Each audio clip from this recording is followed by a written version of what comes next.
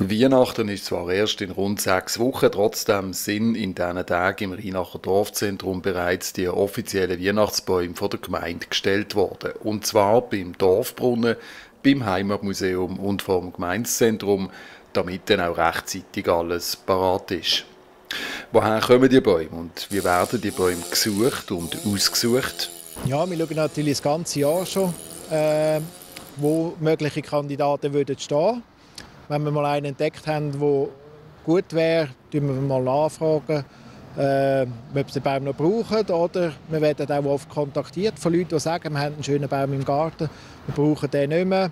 Und dann schauen wir, ob der für uns passt und ob das zeitlich auch gerade passt, dass wir dann den bei uns als Weihnachtsbaum einsetzen können. Ja, wir schauen vor allem in Rheinach, dass wir da äh, bei uns in der Gemeinde die äh, Bäume findet. Äh, wenn wir aber außerhalb äh, auch einen anboten bekommen oder einen sehen, der sehr schön wäre, können wir auch ein bisschen außerhalb von Rheinach einen Baum holen.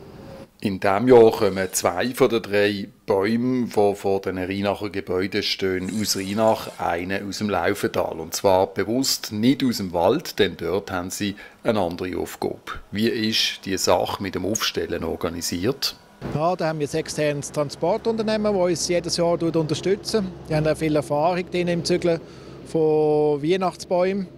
Und da sind wir sehr froh, dass wir dort erfahrene Chauffeure haben, die wissen, wie man Bäume anhängen muss und wie man sie muss anheben dass möglichst wenig Schaden daran entsteht.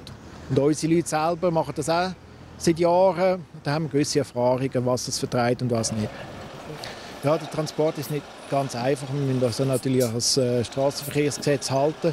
Wir müssen die Äste aufbinden, äh, so dass wir nicht breiter werden als Fahrzeug und äh, dass die Äste aber gleich nicht abbrechen unterwegs. Und dann müssen ja die Bäume noch entsprechend geschmückt werden.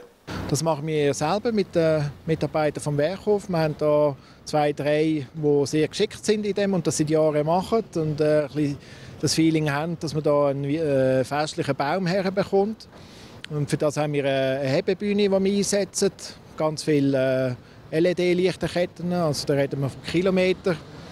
Und dann äh, große Christbaumkugeln, die wir dranhängen. Was passiert nach den Weihnachtstagen mit diesen Bäumen? Ja, nach dem 6. Januar schmücken wir die Bäume zuerst abschmücken. Nachher schneiden wir sie äh, klein. Schneiden. Äh, die Äste kommen meistens in den Tierpark runter. Da hast äh, ja, Dreh und Hirsch auch noch etwas von unserem Fest haben. Und äh, Stammholz das wir klein schneiden und äh, für Brennholz weiter lagern das erste Mal. Zum ersten Mal eingeschaltet wird die Beleuchtung an diesen Bäumen am Samstag, 30. November, also kurz vor dem ersten Advent.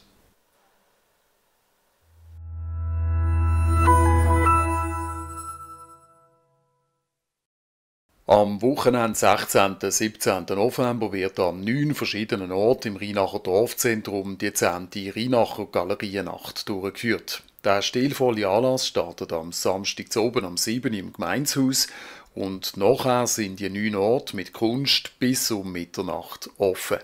Am Sonntag ist dann zwischen 2 und 5 am Nachmittag in allen Galerien Betrieb und an der 10. Rheinacher Galerienacht stellen regionale Künstlerinnen und Künstler ihre Werke aus und sind vor Ort. Der Eintritt zu dem auch gesellschaftlich wertvollen Anlass ist frei und auch kulinarische Überraschungen sind garantiert.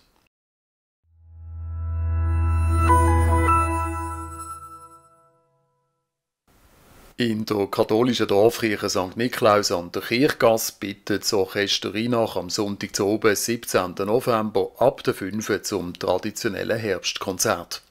Auf dem Programm stehen unter anderem Werke von Franz Schubert und von Josef Haydn. Solistin ist Maria Zumbrunn an der Trompete, die musikalische Leitung hat Giorgio Baronuzzi. Der Eintritt ist frei, es wird allerdings ein freier Austritt, also eine Kollekte, erhoben.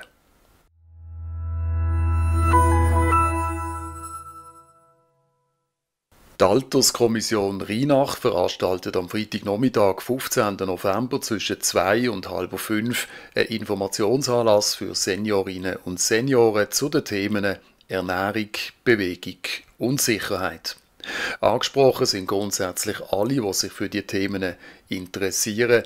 Der Eintritt ist frei. Man kann einfach kommen und vor Ort stehen zudem Informationsstände von Rheinacher Organisationen, die im Bereich Gesundheit und Alter aktiv sind, bereit.